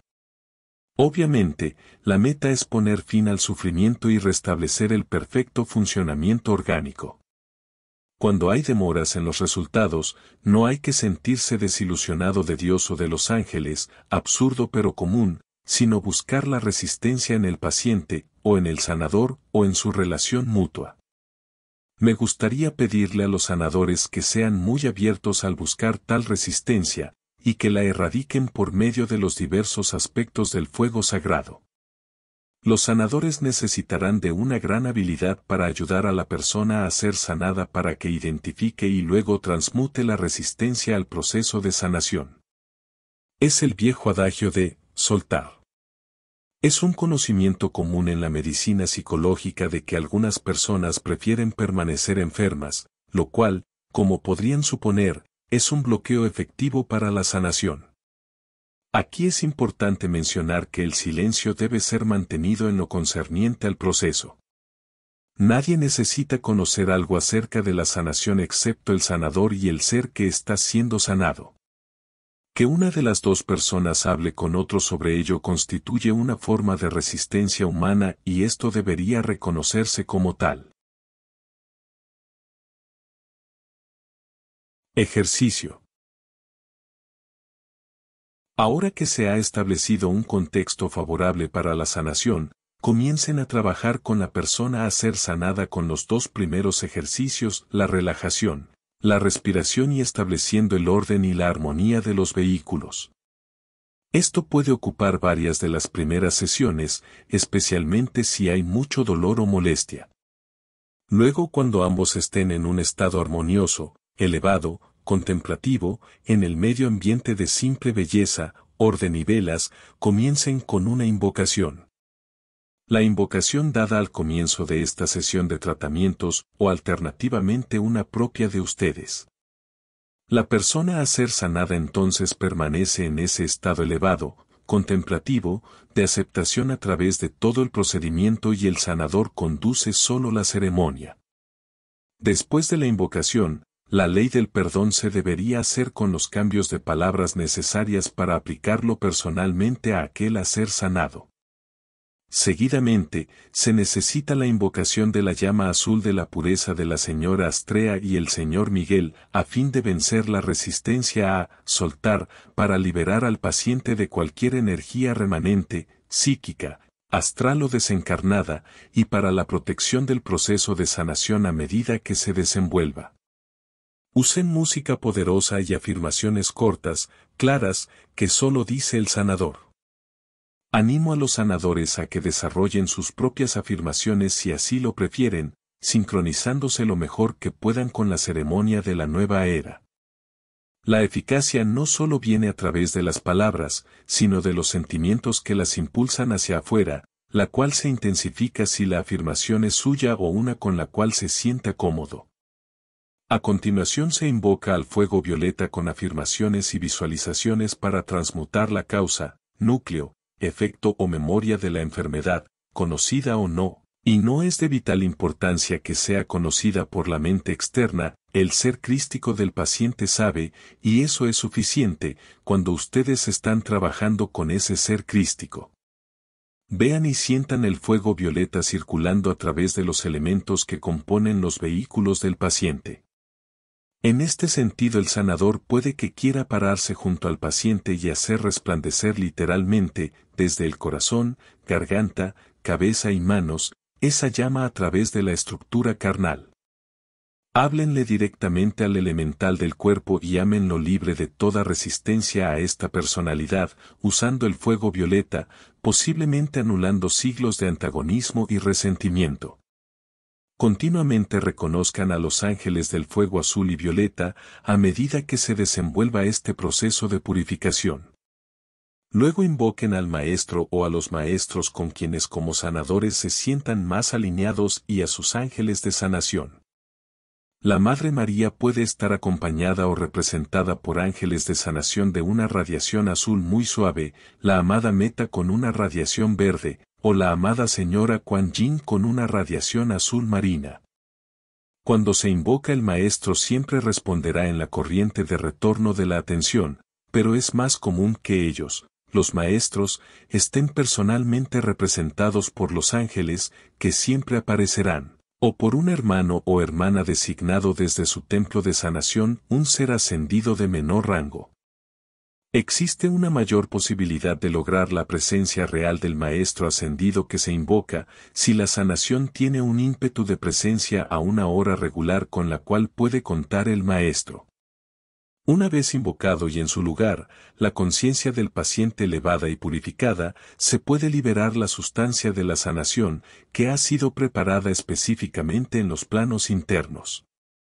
Esto se puede hacer a través de la visualización, es decir, directamente desde el Maestro y los ángeles hacia la persona a ser sanada, o bien, poniendo la mano directamente. Aquí, el sanador ha ofrecido voluntariamente su vehículo para que el Maestro o los ángeles lo utilicen, esto supone un estado avanzado de, quitar la mano del medio, pero nosotros lo alentamos, porque es parte fundamental de la manifestación de la hermandad de los ángeles, los maestros y los hombres. Ya sea la visualización o la colocación de las manos es una oportunidad tanto para el sanador como para el paciente a fin de practicar la canalización, la receptividad y la aceptación en todos los centros mayores. Durante la visualización el paciente participa. Aquí desearía que vieran la envoltura etérica de la estructura carnal activa con la luz crística radiante. Vean los centros chakres en el nivel etérico girando brillantemente con colores claros, emitiendo energías desde ellos, como si una rueda de luz entera estuviera girando. Cuando el sanador se siente impulsado a ello podrá usar las manos principalmente para palpar el cuerpo etérico, con los dedos pasándole la luz vertiéndose desde las manos del sanador para vitalizar el cuerpo etérico, especialmente sobre el área enferma. Froten suavemente en uno y otro sentido, viendo cómo la luz se intensifica a medida que se vierte a través de ustedes sobre el paciente. A continuación pongan ambas manos ligera y suavemente sobre la carne, sobre la parte enferma. Después que se establezca una fuerte corriente, varios minutos, muevan la mano izquierda hacia el chakra involucrado en el paciente, y siéntanlo energizando esa área lo cual ayuda al chakra a reorganizar y fortalecer la energía que fluye a través de los nervios y glándulas hacia la zona enferma. En caso de duda con respecto al chakra, y habiendo pedido guía, pongan la mano izquierda sobre el chakra del corazón. Mantengan esa posición hasta que una fuerte corriente esté fluyendo y ustedes estén experimentando que la sanación se está realizando. Aquí es importante enfatizar que el sanador debe permanecer siendo una fuerza de luz que sale positivamente cargada y de ninguna forma permanecer abierto a cualquier sustancia imperfecta que el paciente devuelva. Ambas manos siempre están proyectando rayos de luz hacia adelante y ninguna de las dos actúa como un polo negativo o de anclaje. El sanador debe tener el discernimiento de ser capaz de mantener una actitud de aceptación con respecto a la sanación que está teniendo lugar, sin captar enfermedad alguna del paciente. Este discernimiento debe ser claramente establecido antes que el sanador comience la práctica de la sanación y fortaleciéndolo continuamente después en los momentos de oración y meditación. Esta parte de la ceremonia continúa de 10 a 15 minutos, con la música propicia para la sanación generalmente suave, tierna y amorosa. Recuerden que esta sustancia de sanación es uno de los aspectos del Espíritu Santo. La ceremonia debería ser finalizada con una bendición y reconocimiento a todos los seres involucrados. La ceremonia completa desde la invocación hasta la bendición no debería llevar más de media hora. Es más importante que sean cortas y rítmicas que más largas y menos frecuentes o fortuitas. Se puede añadir mucho más si tanto el sanador como el paciente acuerdan asistir con sus padrinos al templo de la sanación cada tardecita, cuando se encuentran en sus cuerpos más finos por la noche. Entonces se puede realizar también el proceso de sanación en los planos internos.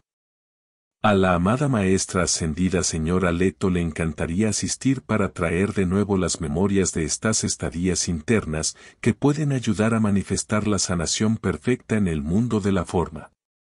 Basta decir que espero que el sanador pida conscientemente, cada noche, asistir a los templos de sanación en los salones de la ciencia establecidos recientemente en Creta. Ejercicio 3. C. Grupos de sanación. Preámbulo. Los grupos o clases de sanación constituyen aquí en Creta una tradición muy respetada. Muchos de ustedes están conscientes a través de escritos previos de la ceremonia usada aquí en Creta por la hermandad que sostiene la llama de la sanación. Permítanme en este momento presentarles un resumen de ese trabajo. Un número de hermanos o hermanas del templo de la sanación forman un círculo alrededor de la llama de la sanación. La primera parte del servicio es dedicada a la invocación y el fortalecimiento de esa llama de sanación y a la sustancia de la sanación a través de los hermanos y hermanas. Este es el trabajo de la invocación, la precipitación y la asimilación de la sustancia de la sanación desde la fuente de la sanación en el sol. Esta primera mitad de la ceremonia se hace con los participantes de frente a la llama en un círculo. En la segunda mitad de la ceremonia, los hermanos y hermanas se dan media vuelta, mirando hacia afuera de la llama, y esto comprende el trabajo de la expansión y proyección de la llama hacia dentro de la atmósfera del planeta para una bendición a nivel mundial y para la disponibilidad de esta unción de la sanación para los sanadores de la raza. Para los grupos de sanación participantes, aún en el templo de Creta, en lugar de que los chelas se reúnan alrededor de la llama de la sanación, se reúnen alrededor de la presencia de un tremendo ángel de la sanación, que es una batería de poder sanador. Ellos luego extraen y asimilan desde ese ángel la sustancia sanadora y practican expandiéndola y proyectándola hacia dentro de la atmósfera. En su trabajo en los grupos de sanación, desearía pedirles que hagan lo mismo invitando a un ángel de la sanación, no solo para que sea observador silencioso del grupo de sanación, sino para que sea la fuente de una manera básica continua de la poderosa sustancia de la sanación desde los planos internos. Aquí el director del grupo de sanación debe hacer un juicio de discernimiento. Habrá chelas que se reunirán conjuntamente en grupos de sanación para bendiciones de sanación generalizadas, no específicas, enfocadas en una cierta localidad, en un hospital en particular o aún a nivel mundial. Un segundo tipo de servicio es para los chelas asistentes que están deseosos de su propia sanación. Una tercera alternativa es que un grupo de sanación invite a un paciente en particular y trabaje con él individualmente. Esto, de seguro, también puede hacerse a distancia para aquel que necesita la sanación si su asistencia personal no es posible, sanación del ausente mediante la proyección. Vamos a tratar con cada uno de estos individualmente. Cuando un grupo de sanadores de la nueva era se reúne conjuntamente, ellos siempre recibirán la atención personal de uno de los hermanos o hermanas ascendidos de nuestro retiro aquí en Creta. Los generosos sanadores de la nueva era que imparten una bendición general de la sustancia de la sanación para una cierta localidad o a nivel mundial, son como estaciones poderosamente recargadoras que se necesitan alrededor del mundo. Su servicio es muy similar al trabajo interno que se hace aquí en Creta, ya descrito anteriormente. La forma de la clase depende del director, pero debería tomar los lineamientos generales ya descritos en el trabajo que se realiza en Creta. La música, las afirmaciones y la ceremonia específica dependen del director. La segunda alternativa algunas veces puede seguir inmediatamente después que se haya dado el primer tipo de servicio. Con esto quiero decir que es bueno que después que se haya reunido un grupo de sanadores, aproximadamente durante media hora a tres cuartos de hora en un servicio de sanación más general, aquellos que requieran de la sanación puedan asistir a la segunda mitad del servicio y participar en la sustancia sanadora que ya fluye fuertemente. Sin embargo, no debería hacerse lo contrario, o sea que no se debe realizar una sanación específica y luego tratar de enviar una bendición general. El flujo impersonal de la sanación siempre debería venir primero. Si hay un número de asistentes que requiere sanación, la clase se debería estructurar de modo que simplemente participen de las afirmaciones de sanación, visualizaciones, canciones, etc. Esto es lo más eficaz si ninguno de ellos padece trastornos agudos y si el mismo grupo puede reunirse regularmente para establecer un ímpetu. Sin embargo, como ya se mencionó, al grupo que requiera sanación, siendo este el motivo de su asistencia, no se le debería permitir diluir el trabajo precedente del grupo de servidores de la nueva era, quienes están dando una bendición general de la sustancia de la sanación para una localidad o el planeta. Naturalmente que el mismo grupo de chelas puede primeramente hacer una clase general de sanación impersonal y luego concentrarse en ellos mismos. Ahora se puede hacer un servicio específico para un individuo que haya previamente convenido con el director en recibir una sanación a través del grupo. En este caso se puede realizar una ceremonia con el grupo de sanación sentado en círculo alrededor del ser que requiere la sanación. El paciente se sienta justamente debajo del ángel de la sanación en el centro del grupo, y el director del mismo debería hacer un proceso similar para la sanación del propio paciente. El grupo simplemente añade un tremendo ímpetu a la invocación, asimilación, expansión y proyección de la sustancia sanadora hacia dentro de ese paciente en particular. Aquí nuevamente, el grado de compromiso de los miembros del grupo y su habilidad para reunirse rítmicamente de tal modo que los ángeles y maestros también puedan establecer un ímpetu, determinará la eficacia en gran parte. La responsabilidad de este caso recae sobre los hombros del identificado director del grupo de sanación. Ejercicio 3D. Clase sobre los chakras. La jerarquía desea que los estudiantes lleguen a estar más y más armonizados con sus sustancias etéricas más finas a medida que la propia evolución de la Tierra llega a ser más y más etérica. Este ejercicio ayudará a los estudiantes de la nueva era a prepararse para el cambio. Hay dos formas de interpretar esta clase, una siendo la misma clase completa dedicada a los chakres, la otra siendo un servicio más corto de los chakres dentro de una clase mayor. En primer lugar, explicaremos una clase de chakra que ha sido diseñada enteramente para ese propósito. Esto involucra la ceremonia normal del acólito y la invocación, y luego la atención se vuelca hacia los chakras. Podría ser de utilidad leer algo de la primera parte de este manual, para revisar con los estudiantes el entendimiento de los chakras. Luego, comenzando en la base de la columna vertebral, se purifica cada chakra individualmente invocando los poderes de los fuegos azul y violeta, usando un decreto corto y dinámico con música y visualización. Luego la llama de la resurrección, invocada desde el amado Señor Gabriel y la Madre María, se hace resplandecer a través de ellos, con lo cual cada chakra llega a ser resucitado restaurado a su puro funcionamiento original. El servicio de la resurrección se puede hacer primeramente llamando a esos seres a través de la invocación con la palabra y o afirmaciones cortas, y luego una poderosa pieza musical de la resurrección, como por ejemplo el prólogo de Mefistófeles, de Boito, con duración de cinco minutos. La llama de la resurrección debería ser vista y sentida a medida que una fuerte corriente electrónica resplandezca a través de cada uno de los chakres mientras prosiguen hasta arriba de la columna vertebral. Luego la cualidad predominante del chakre, como se delineó en el manual, es cargada dentro de cada chakra invocando preferiblemente al Choan o a cualquier ser ascendido en ese mismo rayo, como por ejemplo, al amado Serapis Bey para el chakra del fuego blanco en la base de la columna vertebral. La meta debería ser un centro de energía girando que esté emitiendo una positiva corriente de saliente luz. Por ejemplo, el chakra de la base debería ser una fuente saliente de creatividad y pureza, el chakra del vaso una purificación constante, el del plexo solar una fuerza de paz expandiéndose, y no la puerta abierta para el miedo, que está en la mayoría de la humanidad.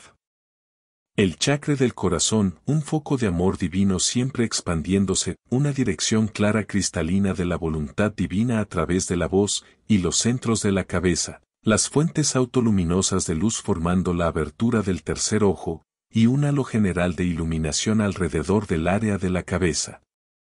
Finalmente toda la energía purificada de los chakras asciende en espiral por la columna vertebral, hasta que acumulan una tremenda fuerza en la conciencia búdica del chakra superior, el loto de los mil pétalos. Cabe mencionar aquí que la nueva era funcionará principalmente a través del corazón, la garganta y los centros de la cabeza de la raza, debiéndose prestar la mayor atención según corresponda. Pero todos los chakras necesitan la purificación, la resurrección y la carga positiva del maestro que preside ese rayo. De ese modo la clase prosigue a través de cada chakra individualmente, dedicando unos 5 o 10 minutos a cada uno. Los chakras deberían experimentarse sobre el nivel físico y etérico, como ruedas de luz y color, girando hacia afuera.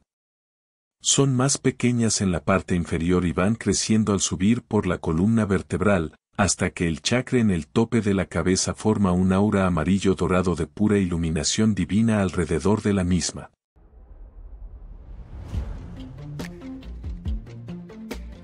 Capítulo 13 Servicio de los chakras. Sonido del agua. Por favor sientan el cuerpo físico confortable en la silla, relajados, con la columna vertebral derecha, respirando rítmica y profundamente. Sonidos vibracionales. Por favor ahora presten atención a los centros de los siete chakras desde la base de la columna vertebral hasta el loto de los mil pétalos en el tope de la cabeza y visualicen estos centros de los siete chakras desde el Sol, central de sus propias llamas triples, como siete planetas en sus propias órbitas perfectas. Vamos a usar la llama de la pureza del amado claridad a medida que vayamos a través de cada uno de ellos, cada uno girando como un centelleante centro de luz. Primer tono. Así que por favor pongan la atención sobre el chakra en la base de la columna vertebral, el chakra de fuego blanco del amado Serapis Bey, centelleando con la poderosa luz de la pureza del Elohim de la pureza, claridad. Siéntanlo allí en la base de la columna vertebral, tanto en las estructuras física como etérica. Segundo tono. Arriba en el centro del abdomen, el chakra de fuego violeta del amado Saint Germain, purificado y centelleando con la luz del amado claridad.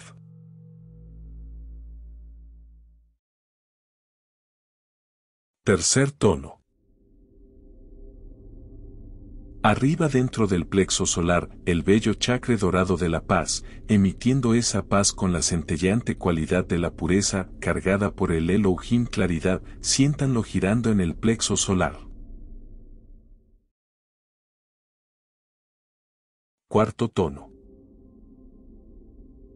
Ahora arriba dentro del chakra del corazón, sientan esa expansión de luz resplandeciendo hacia arriba desde el corazón a través del tórax hacia afuera de los brazos y manos, la pureza del amado Elohim claridad. Quinto tono. Ahora arriba dentro del chakra de la garganta y la luz azul centelleante de la amada señora Miriam y la luz diamante cristalina del amado Elohim claridad. Sexto tono. Ahora arriba dentro del chakra de la cabeza, el bello disco verde sobre la frente emitiendo rayos de pureza con la cristalina sustancia del amado Elohim claridad. Séptimo tono. Ahora arriba en el tope de la cabeza, el loto de los mil pétalos supercargado con la sustancia electrónica del Elohim de la pureza, atrayendo todos los demás centros de los chakras hacia arriba, hacia dentro de la experiencia de la perfecta sabiduría y pureza.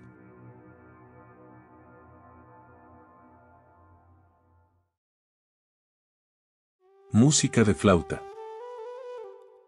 Oímos la canción de nuestro propio Cristo mientras fusiona su naturaleza electrónica a la estructura atómica de este cuerpo físico etérico y es a través de estos centros chácricos purificados que la naturaleza crística electrónica realizará sus milagros, ejercerá su fuerza y su pleno dominio en el plano físico etérico. Sientan también la llama de los siete aspectos de los Elahims activa sobre la frente a medida que ésta se interconecta ahora con los centros de los siete chakras. Ahora estamos preparados para recibir la luz del gran jerarca Serapis Bey.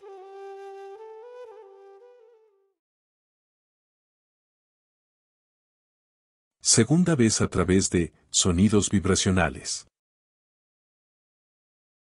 Vamos a sentir la presión de su presencia luminosa resplandeciendo como si fuese el foco central permanente del Templo de la Ascensión, una bella construcción en forma de pirámide, que está construida de una sustancia suave, cristalina, como la frescura de la nieve caída con el sol brillando sobre ella. Vemos sobre el altar cristalino, la bella, vigorosa llama de la ascensión elevándose hacia arriba y sentimos ahora la presencia luminosa del amado Serapis Bey proyectando dentro de nuestros seres individuales, la sustancia de la llama de la ascensión.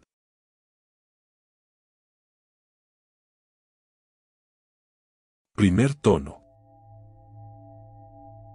Lo sentimos ahora en la base de nuestra columna vertebral, el propio centro chácrico de purificación y todos los regalos de la llama de la ascensión resplandeciendo hacia arriba a través de la columna vertebral.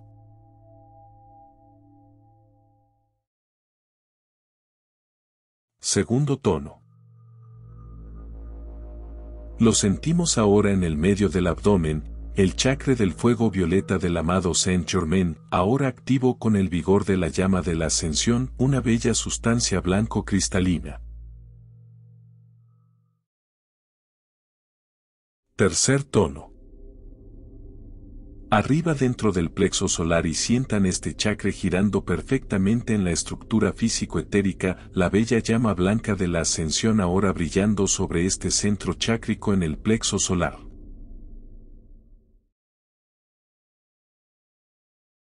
Cuarto tono. Ahora arriba dentro del centro corazón, el grande, bello chakra rosa que ahora se une a nuestra naturaleza de sentimiento, activo con el vigor pleno de la radiante fuerza de la llama de la ascensión.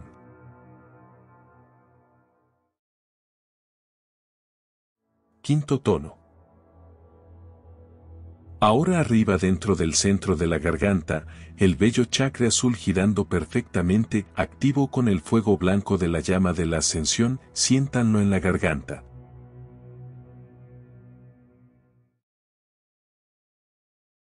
Sexto tono, séptimo tono. Ahora arriba dentro de los centros de la cabeza y en el foco de los siete poderosos Elahims, sentimos la pura llama blanca de la ascensión proyectada allí por el poderoso Serapis Bey, casi como si ardiera sobre nuestras frentes, resplandeciendo hacia atrás dentro de nuestra estructura cerebral. Lo sentimos ahora sobre el loto de los mil pétalos en el tope de la cabeza, nuevamente trayendo a todos los siete chakres en alineación, resplandeciendo hacia arriba hasta el tope de la cabeza dentro de la luz de la perfecta llama de la ascensión, ascendiendo toda la energía de nuestra columna vertebral hacia dentro de nuestra divina presencia electrónica que, yo soy.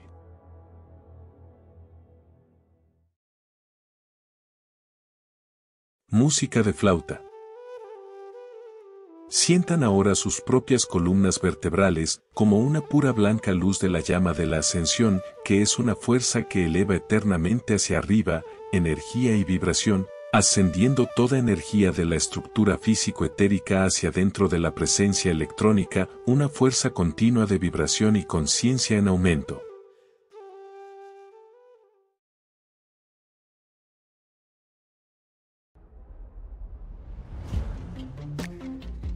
Capítulo 14. Mantenimiento de la salud. Mantener los chakras puros y vibrando rápidamente incrementa grandemente el mantenimiento de la salud, porque esto permite que las formas de energías más finas, tales como los aspectos superiores de la música, el color, las fragancias y las corrientes sanadoras de los ángeles y maestros, se filtren continuamente a través de la forma física.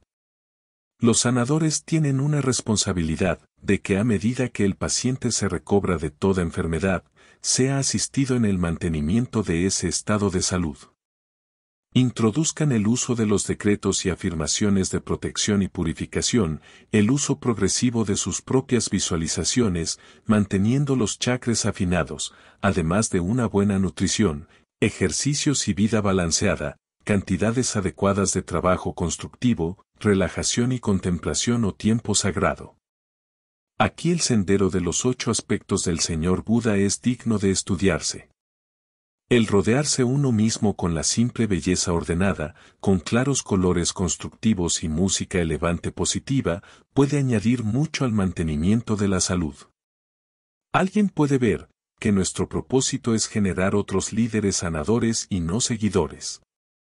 Esto nos trae al círculo completo de nuestras premisas originales, que antes de que una sanación sea hecha, o aún contemplada, el sanador haya descubierto que el paciente está deseoso de cambiar las calificaciones de la energía en su vida, para no generar más las causas y núcleos de la enfermedad.